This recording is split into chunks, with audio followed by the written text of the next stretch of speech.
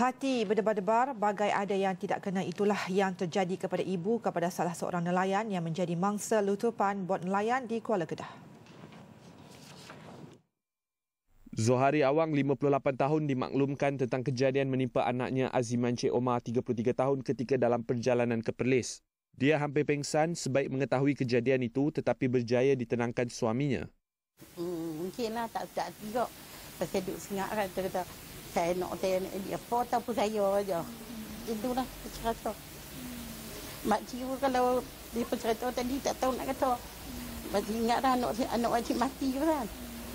Mungkinlah kan pasal dia kata meletup tinggi tu. Mak ciu kata anak saya tak ada dah. Suami kita sabar dia tu. Dalam pada itu, Abang Mangsa Muhammad Araman Cik Omar, 37 tahun, berkata adiknya kini berada dalam keadaan yang stabil. Bagaimanapun, Aziman perlu menjalani pembedahan dengan kadar segera berikutan kecederaan parah yang dialaminya.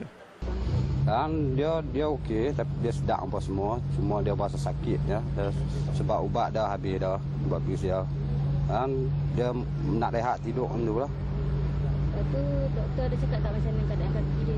Ha, kaki dia patah dengan ni hancur.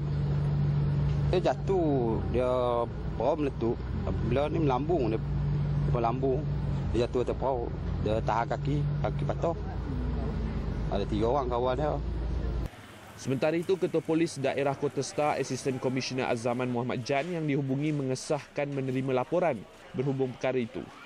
Pemilik bot Aswar Abdullah telah membuat laporan di Balai Polis Kota Star kira-kira jam 8 malam Kamis. Pada petang Kamis, satu kejadian letupan bot membabitkan empat nelayan berlaku di pelantar ikan Kubang Rotan di Kuala Kedah. Sehingga kini, polis masih menyiasat punca sebenar kejadian.